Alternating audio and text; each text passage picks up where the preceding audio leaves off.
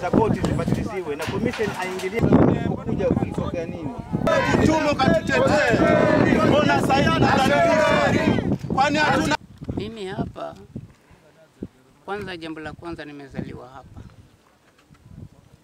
na nimezaliwa pale ziwa la Ngua, kuna mkwaju pale ambapo hapo ndo nimezaliwa mimi, na tukaja tukondolewa kitambo, nilikuwa bado mimi ni mdogo, sina chochote ambacho nini ninacho sasa. Saa hii wamevunja na wakachoma na petroli, sasa tufanye nini?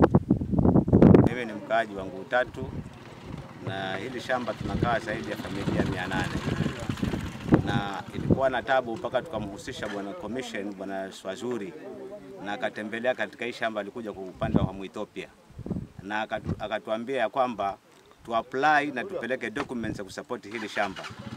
Saa hii tukae tumeapply mpaka saa hii tumefika karibu mara kumi tunavunjiwa kila kukicha, na bwana Swazuri hatatujibu chochote. Kwa hivyo naomba tume ya, ya, ya commission ambayo ni bwana Swazuri huko apply kwetu, kwa nini hawezi kutujibu sisi? Sisi tunaumia.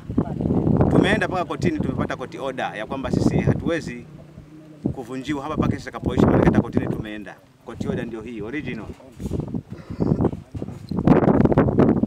na saa hii tunakuja tukivunjiwa hivyo hivyo na kuna oda. Hawa watu hiyo sheria wanaipata wapi? Ama Kenya hakuna haki? Na wanatu, kama wanatuvunjia wanatuvunjia na oda gani? Maanake sisi tuna koti oda. Hiyo oda yao wanatuvunjia sisi ni oda gani?